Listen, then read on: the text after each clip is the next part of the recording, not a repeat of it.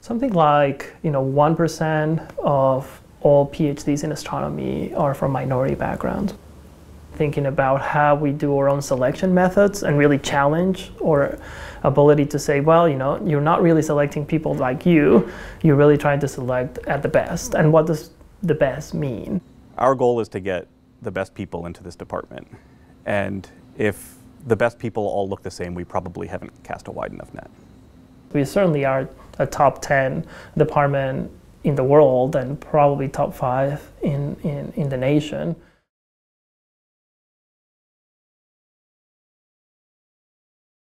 I'm a very talented black woman who studies astronomy. I'm Mexican. My dad is black um, and super mixed, as most black people in America are. And then my mom is from the Czech Republic. I don't know. That's something that I'm like working through of figuring out how to identify myself, but I'm Chinese and I'm, I'm an American citizen. Right now, I work on two seemingly similar but kind of disparate things. So the first is how clouds form on these really massive, really hot planets outside of our solar system called hot Jupiters. My research is on understanding the atmospheres of planets around other stars, so trying to figure out what they're made of. I came to this country already with a certain confidence established. You know, I felt like I could do anything. That's what my parents taught me. And as soon as I came to this country, I started getting these huge background noise of saying like, "Oh, are you from Mexico? Do they have schools in Mexico? Uh, can you do physics if you're Mexican?" And all of these, uh, you know, sea of sort of, you know, kind of microaggressions started growing in me. And you know, even people will tell me like, "Oh, don't tell people that you're from Mexico. You don't really look that Mexican, so maybe you should be from Brazil or Argentina because that's so much more exotic and people are going to believe that you're more intelligent. No? So I started receiving all these messages and at some point I said, well, maybe I shouldn't tell people that I'm Mexican. And at that point I had the realization it's like, this is crazy, you know? I don't look Mexican, so when I when I talk and I say like, "Oh, I come from Mexico," people don't don't believe me.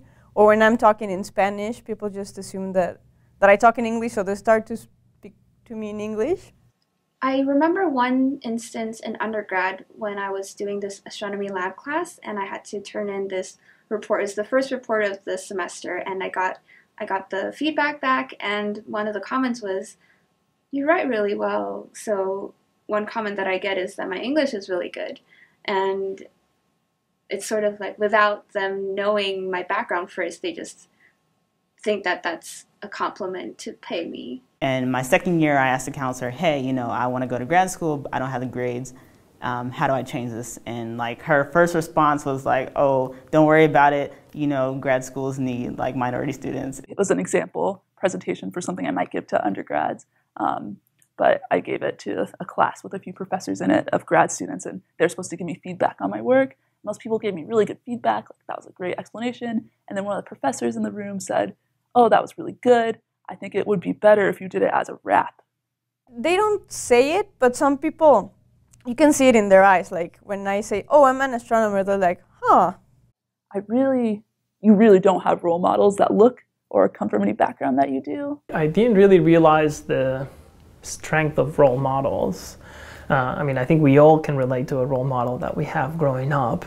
Um, but you know, I noticed when doing the statistics for the classes, particularly the introductory classes, that when I was teaching that class, I was getting almost a factor of three times as many Hispanics in my class. The thing is that my advisor is also Mexican, and he was the one that opened the doors for me. It'd be awesome if I could have some kind of position of power where you can impact change, or even just I'd like to see as many black women or women of color in positions of power because it changes things just by having you there. I think moving forward, I want to figure out how to best acknowledge other people's identity and learn about their stories to let them know that they're doing science, but who they are matters too.